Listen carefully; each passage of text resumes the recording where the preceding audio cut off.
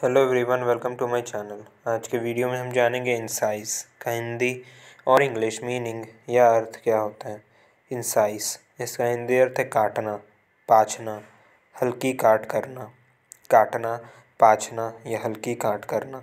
वहीं इसका English meaning है mark or decorate an object or surface with a cut or cuts mark or decorate an object or surface with a cut or cuts एक example से समझते हैं, इसे example the letters were incise in stone यहाँ पे incise का मतलब है कट काटना, उदाहरण।